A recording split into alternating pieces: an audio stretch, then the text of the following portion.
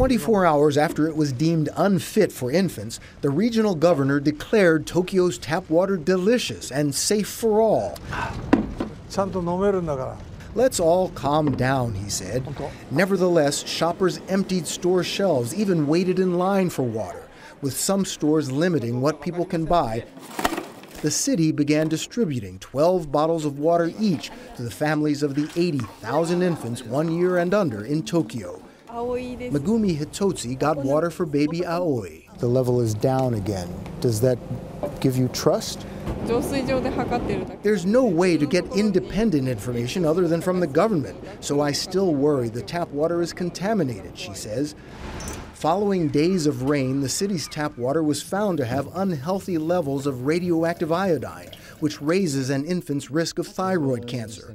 Water workers say the radioactivity now is diluted to safe levels.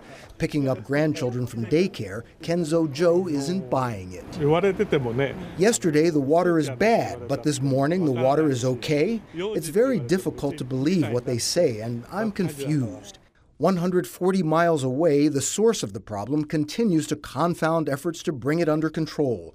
Today, smoke rose again from reactors 2, 3, and 4, and for the first time from Unit 1. Engineers don't know why. Now, new fears the seawater used to cool reactors may have encrusted them in salt that could be holding heat in, making the situation worse.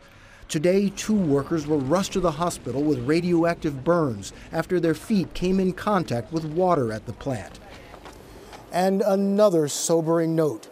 Today, the government official in charge of the nuclear operation warned the Japanese people to stay on their toes. He fears they might be becoming too optimistic, his words, about success in this crisis. Katie? Bill Whitaker in Tokyo tonight.